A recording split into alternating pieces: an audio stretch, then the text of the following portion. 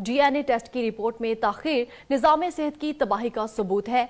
PIA हादसे में शहीद होने वालों के लवाहकिन बॉडीज के लिए तरस रहे हैं, जबकि साइंस सरकार ने स्कूल बंद करके शराब खाने खोल दिए। इसी पर मजीद तफसी जान लेते हैं। नुमाइंदा सेवन न्यूज़ के अक्षा बुखारी से। जी के अक्षा बुखारी, मजीद अपडेट कीजिएगा। जी, दिन ब दिन जो है कोरोना वायरस की जो सूरत हाल है, वो मजीद कशीदा होती हुई नज़र आ रही है। वज़ीर अला सिंह मुराद अली शाह का आज नया स्टेटमेंट आया है कि 700 के करीब जो हैं कोरोना वायरस के केसेस पिछले 24 घंटों में रिकॉर्ड हुए हैं, जिसमें से 235 ऐसे मरीज़ हैं जिनकी हालत इस वक्त तशवीशनाक बताई जा रही है। दूसरी जानब अस्पतालों के जो इंतज़ाम हैं, उसके हवाले से भी मरीज़ जो है वो मुतमिन नज़र नहीं आ रहे। हमने देखा कि आइसोलेशन सेंटर्स की कुछ वीडियोज़ भी वायरल हुई, जिसमें लोगों को जो है वो सही तरीके से ट्रीटमेंट नहीं दिया जा रहा। मेरे साथ सरबरा बैतुलमाल हुनैत नाखानी मौजूद है। उनसे जानते कि सिंध हुकूमत की तमाम हमत अमली जो है वो अवाम की नज़र में तो फेल होती जा रही है। आगे मजीद लॉकडाउन के हवाले से क्या इकदाम हो सकते हैं और कोरोना वायरस के हवाले से जो ये अस्पताल, अस्पतालों के इंतज़ाम हैं, इन्हें किस तरह देखा जा रहा है? जी, बताइएगा। बारह साल हुकूमत करने के बाद इस सूबे का ये हाल है कि ना रोटी है, ना कपड़ा है, ना मकान है। गरीब के पास कपड़ा फटा हुआ है, रोटी जो है उसे छीन ली गई है। हार्डली अगर किस्मत में उसको एक रोटी मिल जाती है तो वो गनीमत है। नौकरियाँ भी इन लोगों ने ले ली। कराची के अंदर जो थोड़ी बहुत तजारत, मीशत चल रही थी, उसको भी तबाह करने की कोई कसर नहीं छोड़ी इन्होंने। अभी भी इनका इरादा सिर्फ़ ये है कि किसी तरह कारोबारी जो हैं, वो फेल हो जाएँ, कारोबार बंद हो जाए और पूरा का पूरा मुल्क जो है दिवालिया हो जाए। इसके अलावा इनकी कोई हमत अमली नहीं है।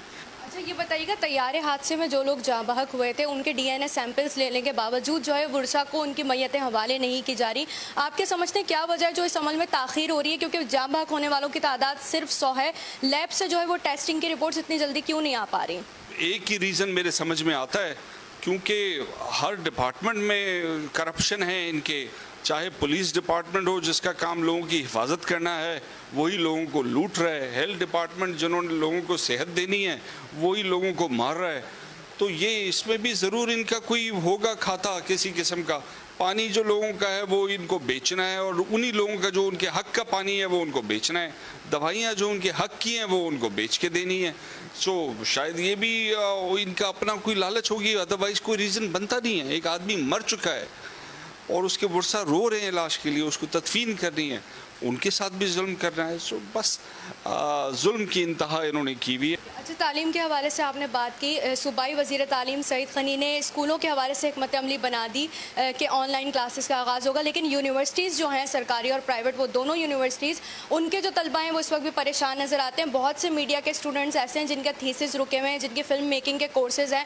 बगैर शूट के उनका जो प्रोजेक्ट है, वो क्लियर नहीं हो सकता, उनका नया साल शुरू नहीं हो सकता। उस पर आप क्या कहेंगे कि जो यूनिवर्सिटीज़ हैं ख़ासतौर पर आपका भी ताल्लुक है। तो फिर किस हवाले से इनकी हमत अमली मुरतब करनी चाहिए कि वो स्टूडेंट्स जिनका साल ज़ाया हो रहा है वो किसी तरीके से बच जाए? ना तो इनके जो है लोग जो काम करते हैं वो पढ़े लिखे हैं ना इनको पढ़े लिखे लोगों से कोई काम है ना इनको आवाम को पढ़ाना है। ये चाहते हैं कि गुलाम रहे ताकि इनको वोट मिलते रहें और दोबारा आते रहें। अभी तक हमत अमली क्यों नहीं बनाई गई? सूबाई हुकूमत और वफाकी हुकूमत दोनों की जानब से यूनिवर्सिटीज़ के लिए इनका आगे क्या मुस्तबिल है? ऑनलाइन एजुकेशन कितनी देर का काम है आपको अंदाज़ा है? ऑनलाइन एजुकेशन पे जाने का टोटल पीरियड जो है वो एक दिन है। किसी भी टीचर को अपना पूरा का पूरा कोर्स ऑनलाइन डिलीवर करना सीखना एक दिन का काम है। ऑनलाइन कोर्स अपलोड करना एक दिन का काम है। ऑनलाइन कोर्स में एडमिशन लेना, पढ़ाना एक दिन का काम है। बच्चे को सीखना एक दिन का काम है। और ये सारी चीज़ें जो है, प्रोडक्ट्स मौजूद हैं, रेडी। और ये आ, ये आपने क्लिक ऑफ़ अ बटन पे आपको मिल जाएगा। ब्लैक बोर्ड है कैनवस है and there are so many other products जिनके ऊपर स्टार्ट कर सकते हैं लेकिन इनको करना नहीं है। इनकी नीयत नहीं है इनकी हमत अमली कुछ और है। जी सरबरा बैतुलमाल हुनैन लाखानी हमसे गुफ्तु कर रहे थे। उनका कहना था कि सिंध हुकूमत की जो हमत अमली है के हवाले से तालीम के हवाले से के हवाले से वो बिल्कुल नाकाम जी, हो। बहुत शुक्रिया आपने हमें तफसीलन अपडेट किया।